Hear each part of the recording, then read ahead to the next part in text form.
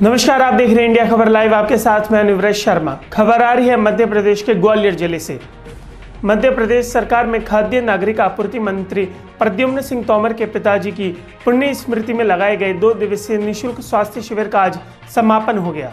इस शिविर में करीबन सात हज़ार से ज़्यादा लोगों को स्वास्थ्य लाभ मिला।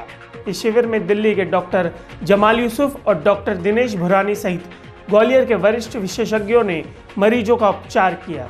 स्वास्थ्य शिविर के अंतिम दिन मंत्री प्रद्युम्न सिंह तोमर सहित जन कल्याण संघर्ष समिति और सिंधिया विचार मंच के सदस्यों ने सभी डॉक्टर्स और मेडिकल टीम को श्रीफल और शॉल भेंट कर सम्मानित किया। इस मौके पर मंत्री प्रद्युम्न सिंह तोमर के अनुरोध पर डॉक्टर जमाल यूसुफ और डॉक्टर दिनेश भुरानी ने आश्वस्त किया कि हर चार महीने में दो दिन के लिए ग्वालियर में शिविर लगाया करेंगे। इंडिया खबर लाइव के लिए ग्वालियर से अनूप पांडे की रिपोर्ट। दिल्ली से चल करके ग्वालियर में आपकी सेवा के लिए तैयार। मुझे बनाया तो मेरा दायित्व तो है कि ईमानदारी से मैं आपकी सेवा करूँ और वो काम आपको विश्वास देता हूँ, ज़िंदगी भर आपकी सेवा सेवक के नाते हमेशा करता रहूँगा, ये भरोसा मैं भावना तो मैंने इनकी को देखा। ग्वालियर के प्रति अटैचमेंट देखा।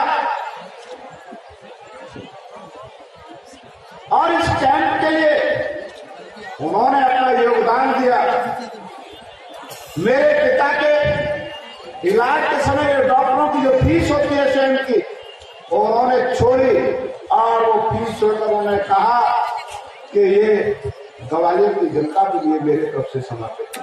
मैं उनका कहे जिससे डॉक्टर भुलानी साहब का डॉक्टर यूसुफ जवान साहब जो किसी पर्चे के लिए मोहताज नहीं ये कैंप मैंने नहीं लगाया। ग्वालियर की माटी इसमें तुम पैदा हुए हो, मैं भी हुआ हूँ। तो ग्वालियर के लोगों की सेवा करते हैं। मैं ही करीब जब भी ग्वालियर डॉक्टर जमाल साहब यूसुफ जमाल साहब के पास पहुँचता है, उसकी सेवा वो डॉक्टर जमाल साहब करते हैं।